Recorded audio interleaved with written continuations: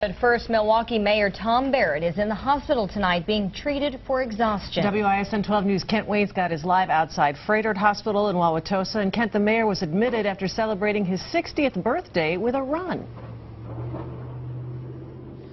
Joyce, that's right. The mayor is spending his birthday here at Froedtert Hospital tonight being treated for symptoms of exhaustion and dehydration. I spoke with a, a, spokesman for the mayor just a short time ago. Here's what I've learned.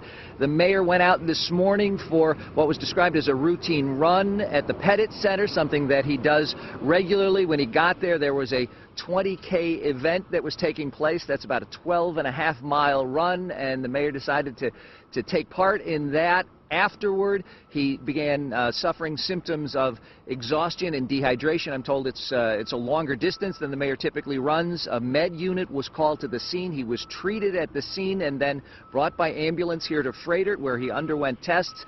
But tonight we're told that he is here resting comfortably and officially under what his doctors are calling an abundance of caution.